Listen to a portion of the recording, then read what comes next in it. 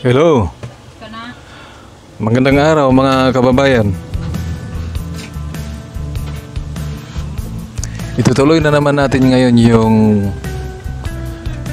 part 6 natin sa ating tutorial how to draw a two-story residential building using AutoCAD. Last part, uh, we have finished discussing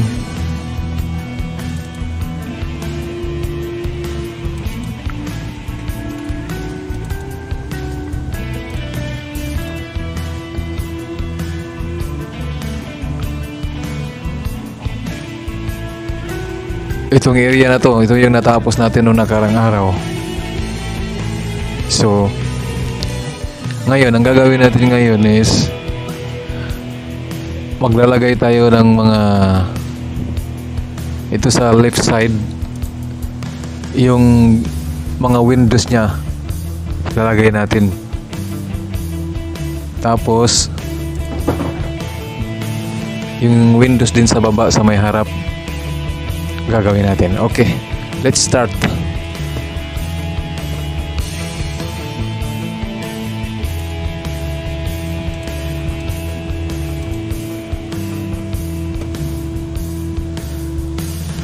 uh, settings muna natin sa 3D 3D modeling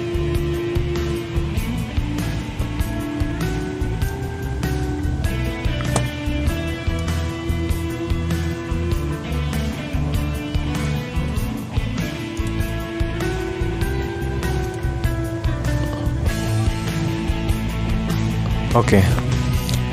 Doon muna tayo sa baba ito yung disable natin yung i-hide natin yung fence na layer.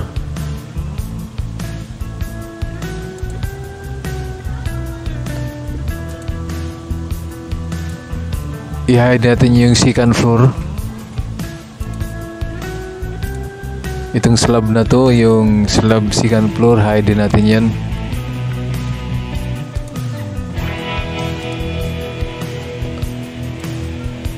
yung canopy.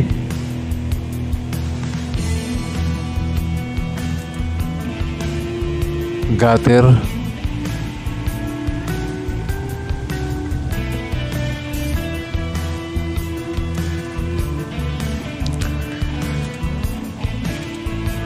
So naka-activate yung i-activate natin yung insert one sa kasulukuyan naka-activate siya. Kasi ito yung guide andito yung mga ito kung mapapansin mo to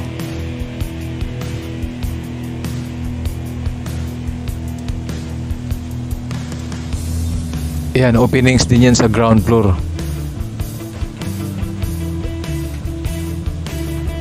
Tapos ito openings din yan. So ilan ang openings natin sa ground floor? 1 2 3 4 So yung mga ini-insert natin, yung ini-insert natin na ground floor, kumbaga sa ano, tinatawag nating insert 1, tapos insert 2 naman sa second floor, then insert 3 sa roof deck. Malaking advantage yan kasi hindi ka na maghahagilap kung saan ka banda bubutas. Halimbawa, uunahin mo sa ground floor. Kung ganito ang posisyon ng ano mo, So, kung mayroon kang guide, hindi ka na maghahagilap kung paano siyang susukatin, saan siya banda. Ang importante lang doon, alam mo yung height mula sa ground floor. So, kagaya nito, ito opening to eh.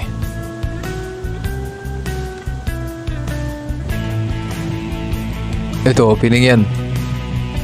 So yun yung window sa harap. Since may guide ka na, madali na lang. Same, same command. Maraming command sa pagbutas ng pader para lang malagyan, malagyan mo ng opening at makapag-insert ka ng yung mga kagaya ng mga na frame sa window na kung saan naka-block na, naka-ready na siya, i-insert na lang natin. So maraming paraan pero para mas mabilis, ganun pa rin yung ano fully solid pa rin yung kung paano tayo nag nag-erect, nag-draw ng wall before simula sa umpisa. Ganun din yun ang gagawin natin sa pagbubutas. So kagaya nito, example ako ng isa. so fully solid, ang height ng ating window or sabihin natin yung opening mismo, yung clear opening is kumbaga sa ano, ang height is 1.2 meters. Tapos yung width naman depende sa design nyo. Yung kagaya for, ex- for example itong opening na to kung susukatin mo yan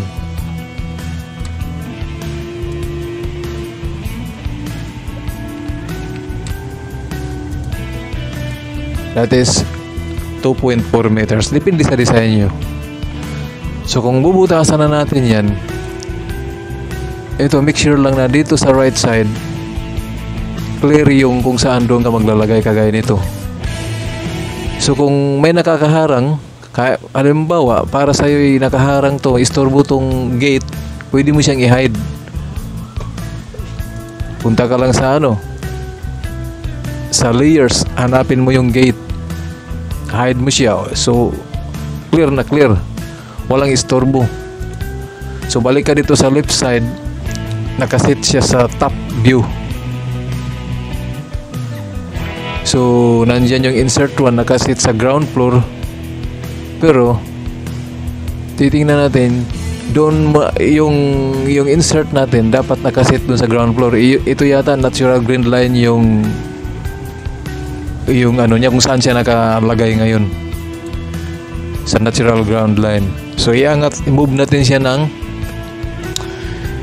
700 mm ba yun? check natin.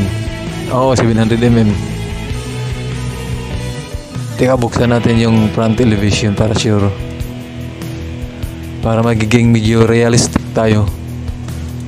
Baga sa ano mayroon lang tayong, mayroon tayong sinusundang plan. So front elevation ito front elevation mula sa natural green line ah 700 nga siya. Okay. So ilipat natin itong move pataas tong ano itong guide natin yung tinatawag na insert 1 pataas ng 700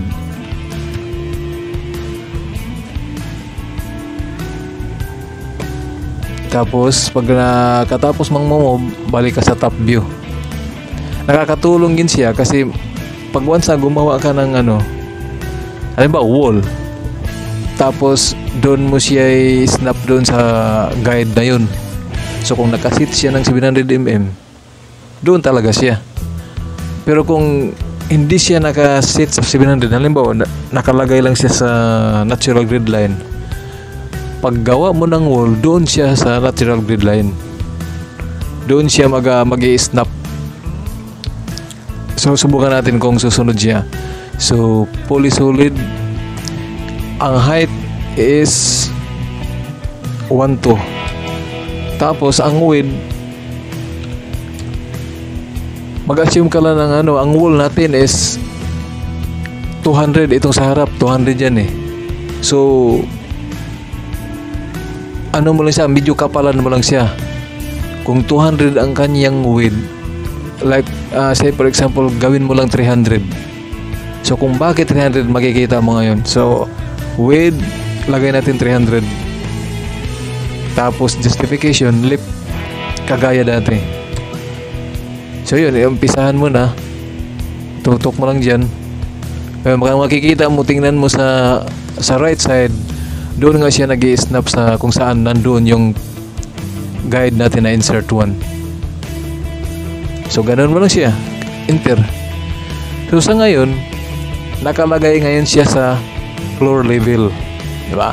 Pero, yung mga window opening natin, ang standard niya nasa mga ano, from finish floor line, aangat siya ng 900mm pataas. So, i-move natin siya pataas. Click mo siya. Kung i-click mo yung ginawa natin, mag-highlight yung sa kanan. So, it means tama yung kinlik natin. So, ang command natin, move. Tapos, select mo yung i-move pataas. Then, 0 at 0, kama 0, kama 900 pataas. So, yun, nasa taas na siya. So, ang next step natin is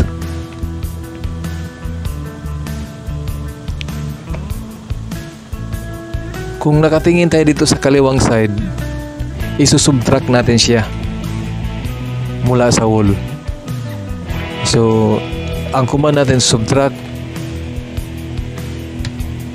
then select object isi-select mo yung object na isusubtract or select solid surface na reduce to subtract from.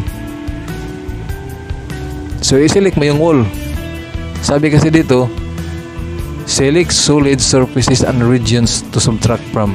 Kung saan mo daw isusubtract yun ay select mo. So i-select natin yung wall. Make sure na ang wall ang nasa-select kung hindi tayo sure punta tayo sa kanan at ito ang siselect natin. Yan. Tapos enter tapos sabi niya, select solid surfaces and regions to subtract. Yung isusubtract mo, yun ang i-select mo. So balik tayo sa kaliwa. Sa ngayon, nasa kanan tayo. So balik tayo sa kaliwa. Select natin yung kulay red na ginawa natin. Then enter. Yun, butas na siya. So ganun lang kasimple magbutas ng ano, opening. Gumawa ng opening wala ka nang alalahanin. Importante doon yung ito importante talaga tong insertion natin yung insert 1 insert 2 yung baga sa ano floor floor plan na ginawa nating pang insert kasi yun yung profile na paggagayahan natin.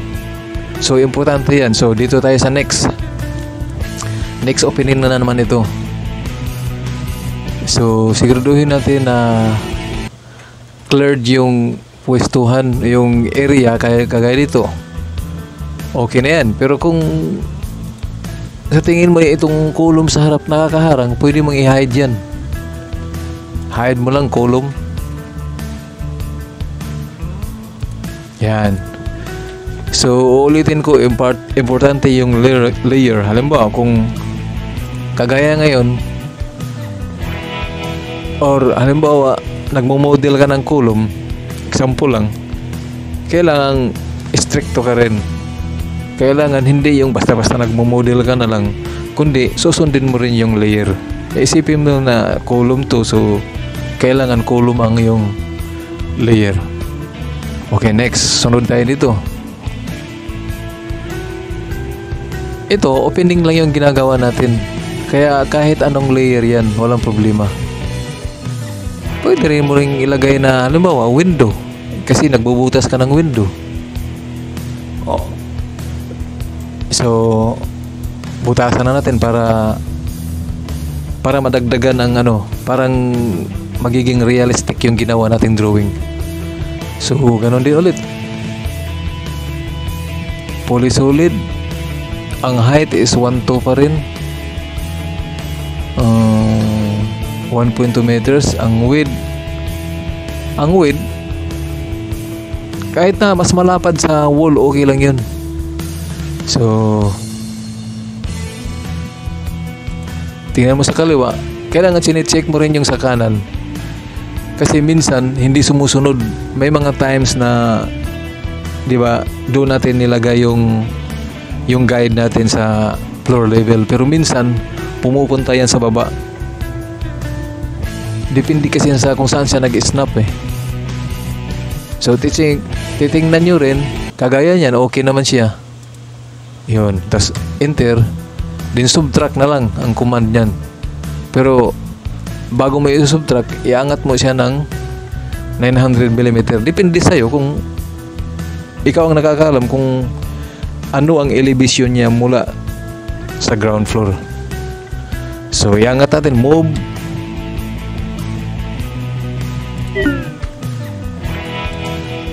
At 0, 0, 900 mm. So, yun. Subtract, subtract.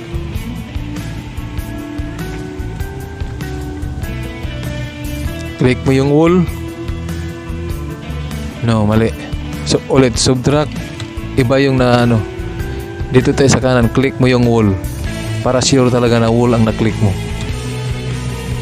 Tapos, balik sa kaliwa, i-click mo to. Yun. So, mayroon na tayong pangalawang opening. So, ganun ulit.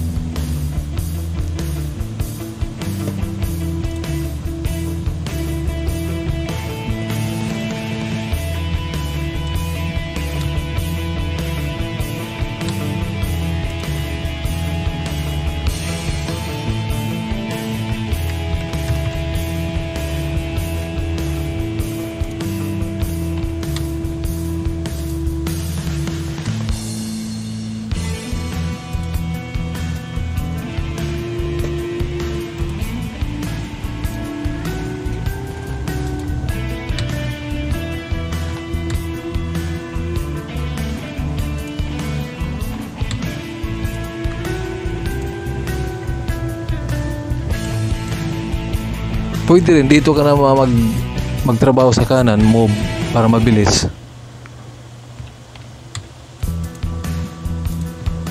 Mabilis lang siya. Tapos yun. Tapos na yung opening natin. So, mag insert na lang tayo. So, since window ang ating ginagawa, so, make the window layer active. So insert natin, insert. Hanapin na natin yung meron akong ginawang blocks ng window. Window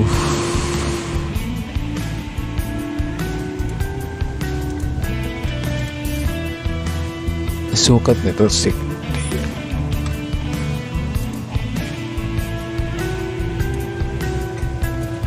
So insert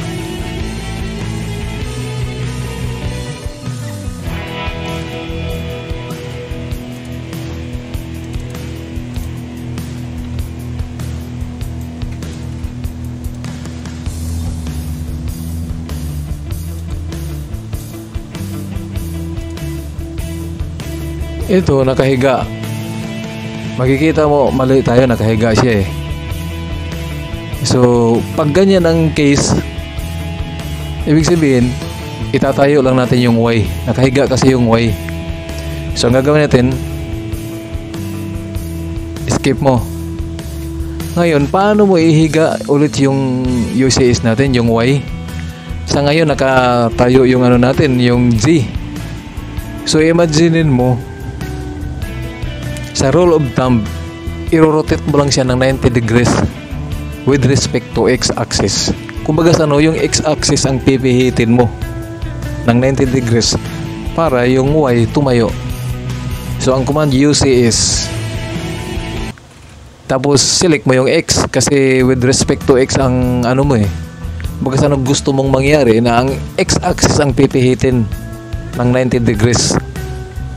So counterclockwise ang pihit, ang direction. So, ibig sabihin positive angle yun. Kung bakit, may iisip ko kung kailan mo sasabihin na ang counterclockwise is positive.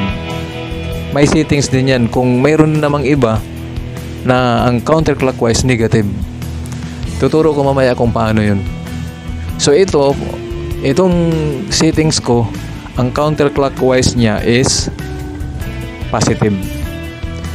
So, imagine mo lang mula sa yung X eh, pipihitin ko. So, kailangan, kailangan tumayo yung Y. So, 90 degrees ang ano ko. So, eh, select ko dito X enter then 90 degrees enter. So, ayan, tumayo na. So, ulitin natin yung insert para hindi kayo malito sa pagkaganon na nahihirapan kayo kaagad. So, ano na ngayon? Window. Type natin window. 1.8. Ito yun. So ayan, tumayo na siya. So i-snap mo lang dito sa gilid. Saka na lang natin ayusin. Click mo dyan. Yan. Tapos tingnan mo dito sa top view. Usually, laging nakasinter yan eh.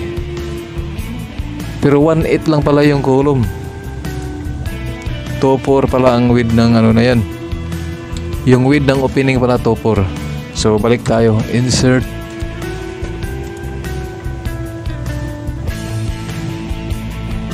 Window. Kaya itong 2.4 na ito. Yun. Click natin dyan. Sa top view,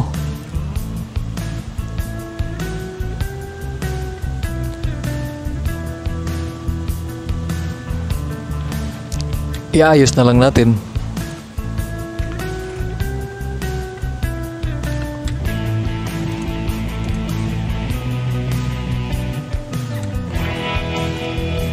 Um, ano lang pala to? 12.5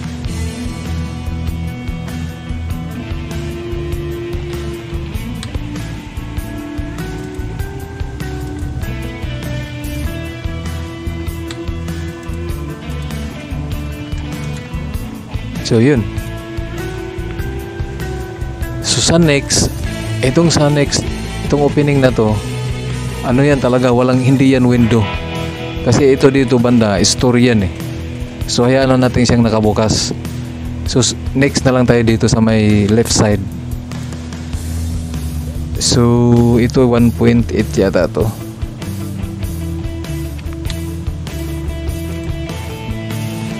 One point eight.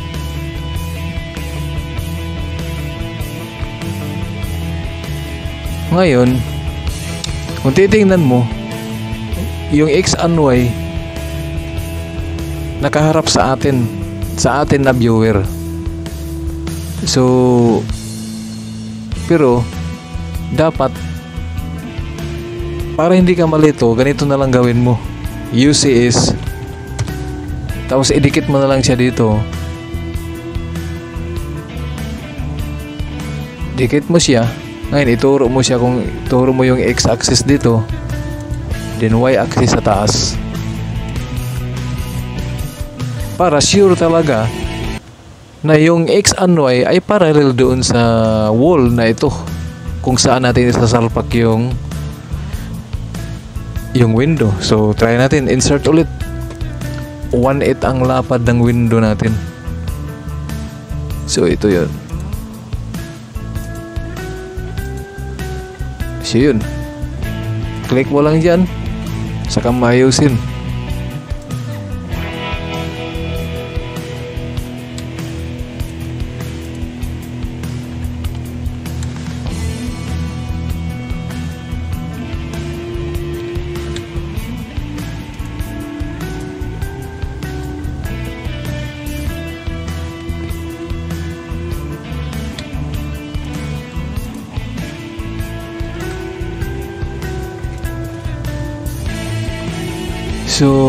Kagaya nito, pareho lang to sa kabila.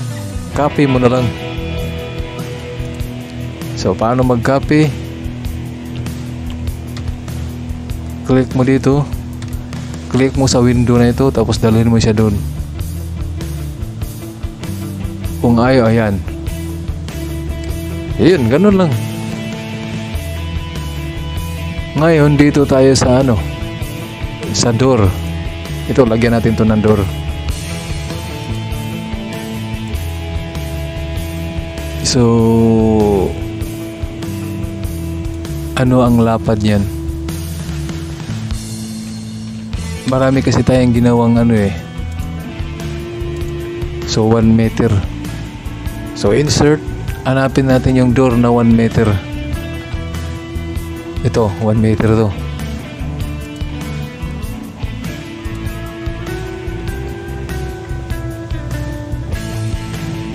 Nakahiga siya. So, titingnan natin. O, kagaya nun. So, idikit natin dito yung uses.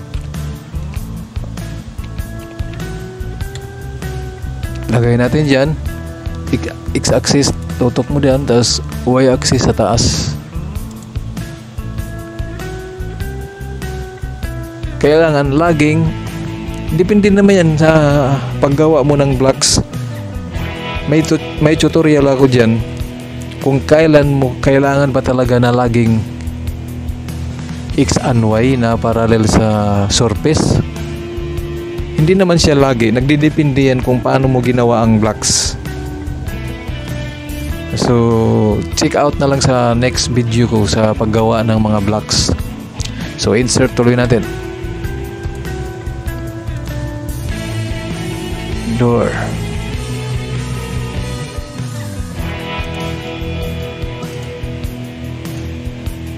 Ayan, so okay na siya. Click muna natin dito. Din ang alam natin ito ay ano, uh, 700 mm be- below the ground floor. So iangat natin siya ng 700 mm. So click mo lang siya. Move command, tapos click mo yung door sa kakahilain mo siya pataas ng 700 yan mabilis lang tapos iayos natin siya. Siyempre igitna gitna na lang natin. Para medyo realistic.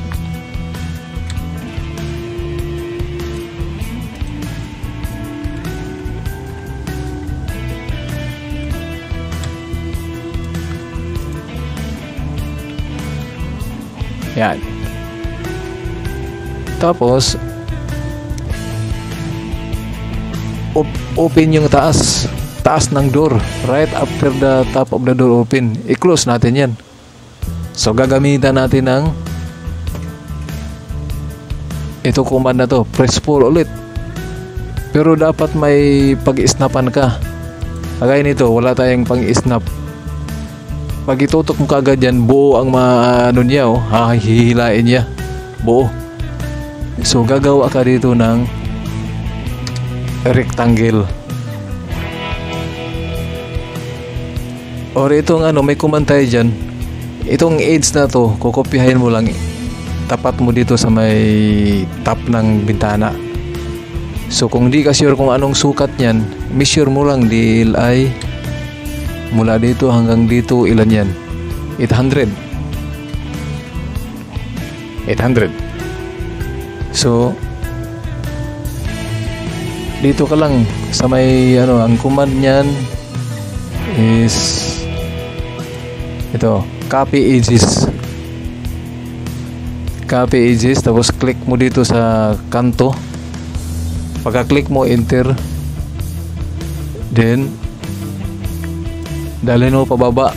Type mo lang 800 ayun mayroon nang mayroon na doon siya sa baba oh. Color red. So snap tayo ulit. Try natin. Press pull ayun. Nakita nyo tapos click mo lang tutok mo lang ito sa kabilang kanto doon na rin siya mag, uh, mag snap oh, ayun automatic close na siya so din ganun din yun sa baba pero ito sa baba kasi hindi naman makikita yan at saka matatabunan din to ng lupa ito. May tambak kasi yan eh. Pero gawin na lang natin. Uh, ano ba ang sukat yan? DLI para alam lang ninyo mga techniques 700 oh. So kanto ulit. Copy edges. Yan tapos hila pataas 700 type mo 700 sa keyboard. Yun mayroon na yan. So press pull ulit. Yan tapos hila. Tutok sa kabilang kanto. Ayun so mayroon ka ng door dyan so proceed na tayo sa next I, I, uh, sa ano na tayo second floor i-activate ulit yung second floor saka mo i-deactivate ang gra- ground floor. Kasi pag hindi mo i-hide yung ground floor, nangingialam kasi yan. Saka mo ngayon i-activate yung insert to. At i-hide ang insert 1. Yan. So check natin dito sa top view kung nandyan nga yung insert 2. Set mo na sa front view.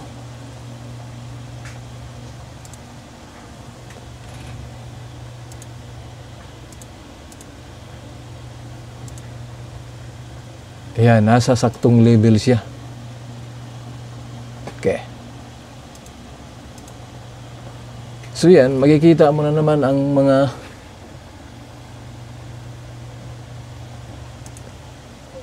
itong window sa baba nakalagay ang window. So kung mag maglagay ka sa taas ng window ulit, gagawa ka na ng panibagong file name para ah, panibagong layer para yung mga window sa baba na ginawa mo, i-hide mo siya. Kasi kung yung windows na gagawin mo sa taas at yung window sa baba na ginawa mo magkatapat lang, tapos yung window na ginawa mo hindi mo hinide, ano eh, isturbo siya. So gagawa na lang tayo ng bagong layer. Sabihin natin window 2. So ibig sabihin mga window yan sa second floor. Sabihin natin window 2. Para hindi siya ano, hindi nakaka-istorbo. Window 2. Saka ngayon siya ang naka-active. So kahit ganun pa rin yung kulay. Ngayon, i-hide mo no yung wind, layer window. Yun yung layer sa baba na ginawa natin. Hide mo yan. Yan. So, naka-hide na. So, hindi ka na istorbo. Ngayon, ang insert to, check mo ba't parang wala yung insert to?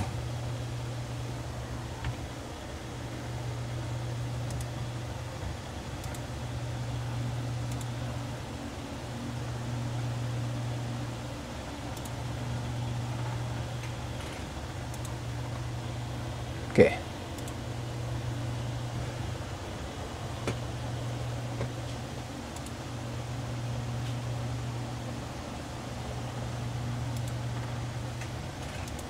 Wala yung insert to. Teka, check natin.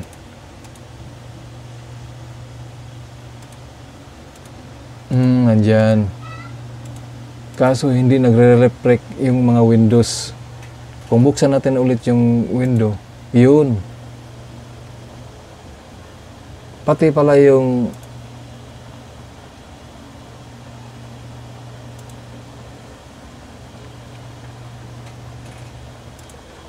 Okay.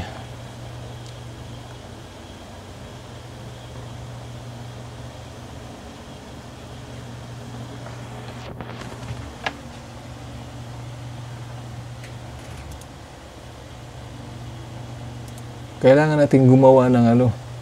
Teka, gawa natin ibang layer.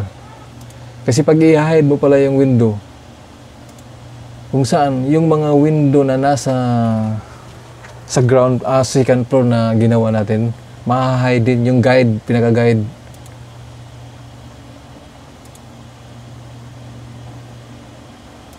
Okay, ganito gagawin natin. Click mo yung mga, itong window na to na ginawa natin. Click mo lang yan, tatlo lang naman yan sila eh.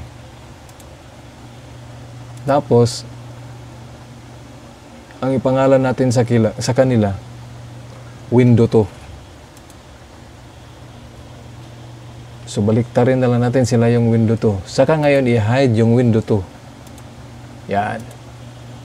So, hindi na affected yung guide natin. Ayan sila, oh.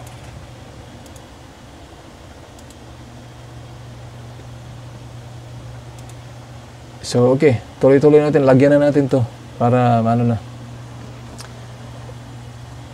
Pwede naman, itong insert tray natin, since window ang bubutasan natin, iangat na natin ang 900mm mula sa ground floor. Para mabilisan. Depende sa mga kanya-kanyang style na lang yan kung ikaw ang nagdo-draw. Pwede mong ganun ang style. So, i-move natin to. Move. At 0, 0, 900 pataas. Yun, nasa taas na siya. So, pag nag-layout ka ngayon, automatic na siya. Gaya nito ang height niya is 1.2 pa rin. So, ganyan na lang. Tapos, subtract na kagad. Subtract. Click mo yung wall. Tapos, click mo yung isusubtract. Yan, may opening ka na agad. Tapos, ganun din dito. Opening mo na gawin natin.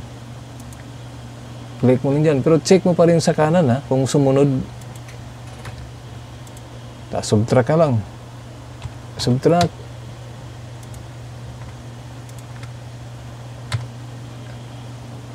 Isa pa.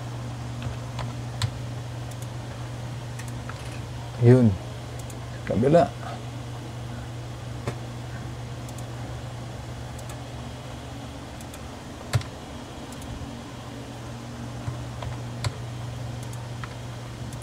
Nasa sistema lang yun kung depende sa'yo. Ikaw pa rin eh, kung may mas mabilis pa na technique bukod dito, then yan ang maganda. Ngayon sa kabila, dito naman tayo sa southeast. Yan, para makita na yung kanan. So, diretso lang.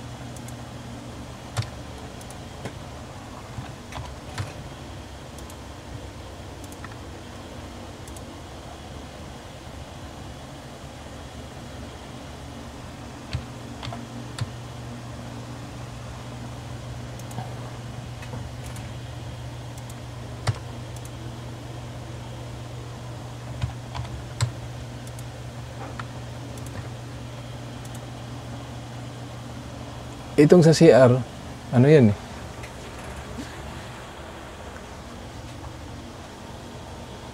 Level lang yan sa header ng window. Iba ang size niyan. So, unahin muna natin yung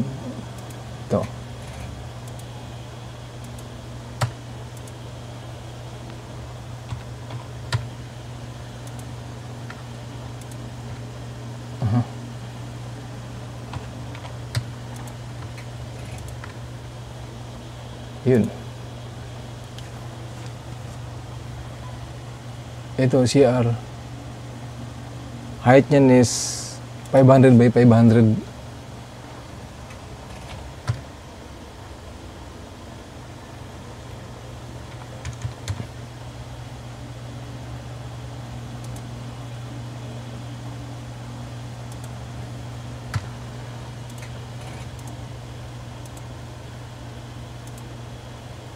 Pero level siya dito. Ilan yan? DLI. Sukatin mo lang mula dito. 700. So, iangat mo siya ng 700. Move.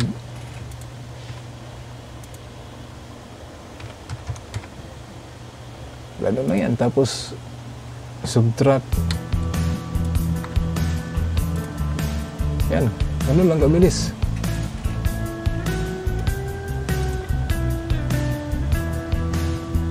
So yun, tapos na tayo. So tapos na tayo sa window. Balik natin lahat yung mga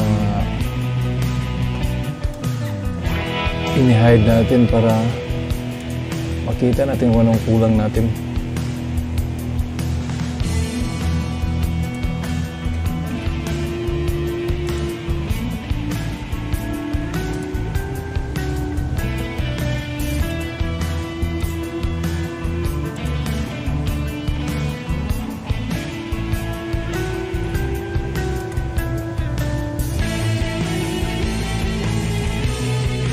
Pwede na tayong mag-rendering next meeting. Okay, thank you sa panonood. Please guys, abangan niyo ang sumusunod hanggang sa matapos natin tong video. Hanggang sa matapos natin yung buong itong ginawa natin with rendering. Tapos dito rin kung paano tayo sa harap itong may gate, bubuksan natin yan. Sa ngayon nakasarado. Bubuksan natin yan na kunwari nakabukas siya tapos isa ka natin ilagay yung car. Paano mag-insert ng car ng mga plants. Lahat yan ituturo natin dito. So, yan lang muna sa ating part 6